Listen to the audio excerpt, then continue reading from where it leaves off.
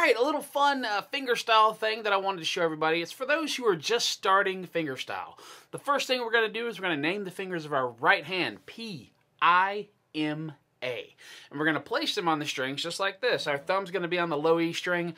Our I finger is going to be on the G string. Our M finger is going to be on the B string. And our ring finger is going to be on the E string. And we're just going to do an upwards roll. P-I-M-A-M-I, right? And uh, first we're going to do it open. Then we're going to put our second finger on the second fret low E string.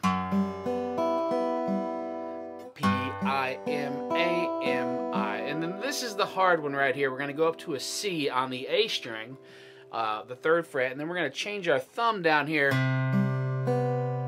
up and then we're going to do the B and the G string as we go to a B note on the A string.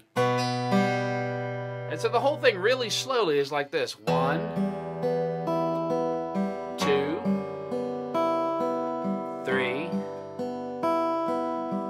four, five, one. So if you play a little faster, it sounds really cool.